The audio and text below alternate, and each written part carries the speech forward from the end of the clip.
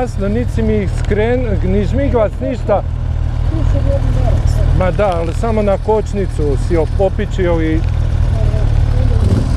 Gdje sad ideš, tamo ili vamo, gdje?